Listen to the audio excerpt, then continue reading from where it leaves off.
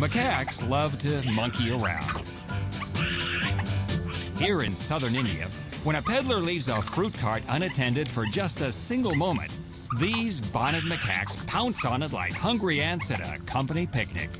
Those of you with very young children will recognize this kind of eating behavior. So many peanuts, so little time. And bananas, well, naturally.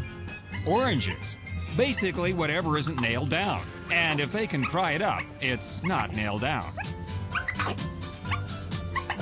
What a macaque doesn't eat on the spot, it puts in doggy bags called its cheek pouches, which it uses while foraging for more food. Now it's on to the next meal.